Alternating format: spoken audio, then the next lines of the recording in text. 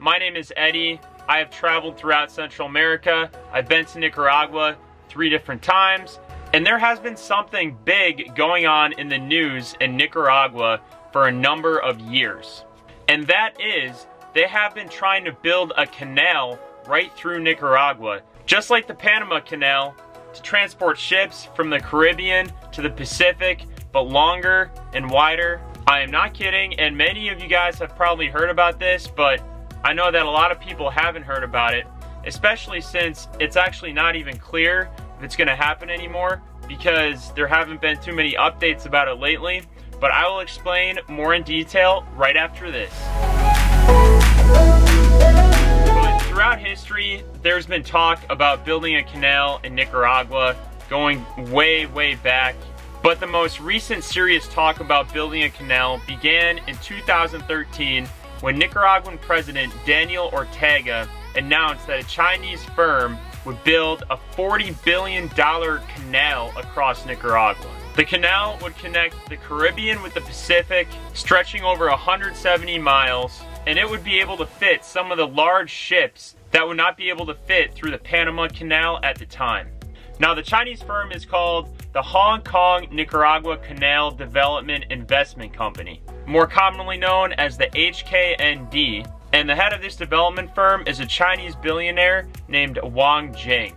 So in June 2013, a law was passed by the Nicaraguan government that gave the HKND an exclusive concession to all of the land to build the canal, as well as for other related projects like building airports and other tourism resorts. And now we are here four years later and the canal still hasn't been built and various people have speculated that it ever would be built and one of the reasons why people doubted and continue to doubt is people wonder where the money is actually going to come from. It's $40 billion, which is a lot of money. Now, different media sources have tossed around all kinds of ideas about how they were actually going to pay for this canal, whether Wang Jing was going to pay for it himself with his own money because he did have a lot of money, or if it was the Chinese government that was going to pay for it but all the skepticism over how the canal was going to be paid for grew a lot more in 2015 when Wang Jing lost a lot of money in the stock market. So again, as of right now, it is not clear at all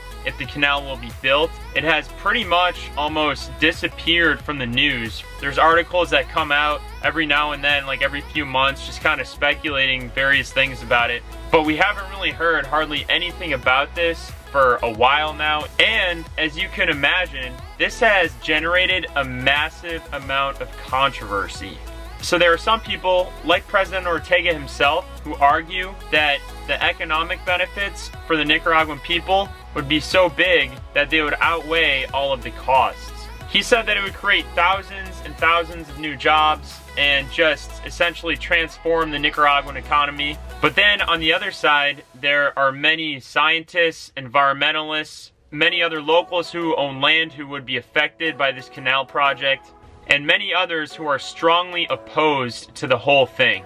Environmentalists and scientists have noted that the whole project and its infrastructure, including all of the roads, all the pipelines that they're going to have to build for it, that that is going to destroy millions and millions of acres of tropical rainforest and habitat for wildlife. And what many people argue would be the worst environmental impact is the fact that the canal cuts through Lake Nicaragua. So they would dredge the canal right through Lake Nicaragua. You would be mixing salt water in with the fresh water, essentially destroying a large part of that aquatic ecosystem. There would potentially be a lot of pollution from industrial chemicals in the water. You'd potentially be introducing invasive plants and animals to that lake. And the lake is actually a valuable resource of drinking water for the people of Nicaragua. Additionally, many people have pointed out that local indigenous people would be displaced or affected in a number of ways.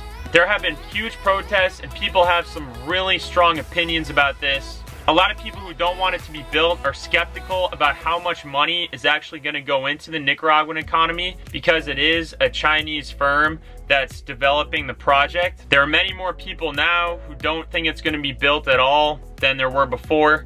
And yeah, that's that. I guess I'm just simply giving a summarized outline with what's happened with this up until this point in time. This video was recorded in January 2018. I just made this video just to try to educate as many people as possible about this. I'm not breaking any new news. When you're a tourist and you're going to another country, I think it's important to know what current events are going on in another country because it'll enrich your experience I went to Nicaragua in late 2017 and I met a number of young travelers who were having a great time. They were going on all these fun tours. They were having a great time partying.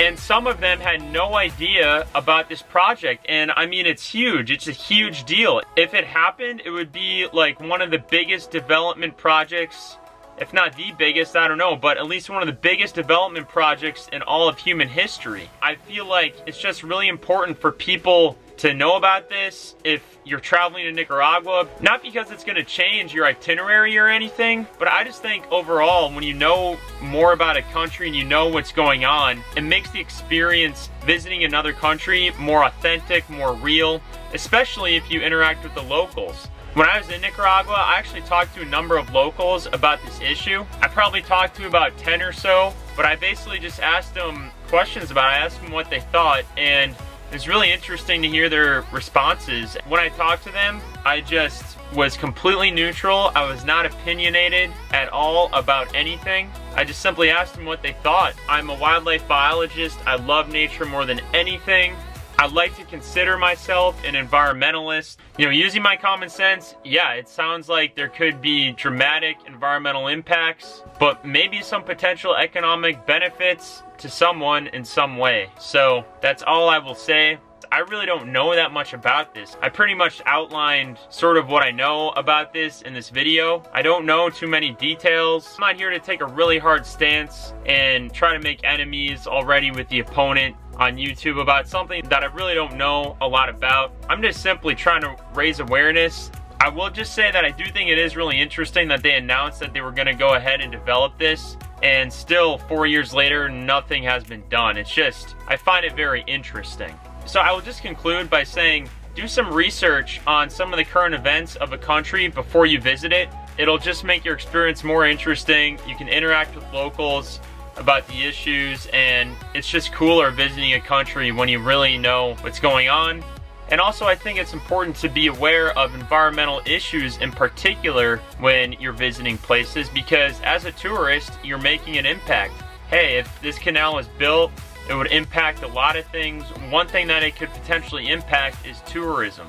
And that is one thing that I am trying to explore in my YouTube channel are environmental issues of the destinations that I go to and that I travel to as a travel vlogger and a naturalist, as a biologist. When I go places, not only do I want to inspire you guys to travel, to have fun, to observe nature, but I also want you guys to think about the environmental issues of the places that you're going and how you're impacting those places as a tourist. And one way to explore that yourself is doing research on the environmental issues of the place and then asking locals about it. And that's something I'm going to do in some of my trips coming up. When I was in Nicaragua, I did not record my conversations about the Nicaragua Canal just because I wasn't sure how people would react, but Moving forward, I'm definitely going to respectfully explore some environmental issues of the places that I go by interviewing people. Thank you very much. If you guys are interested in learning more about travel tips, seeing my adventures, seeing cool places in nature, and learning about environmental issues in the world,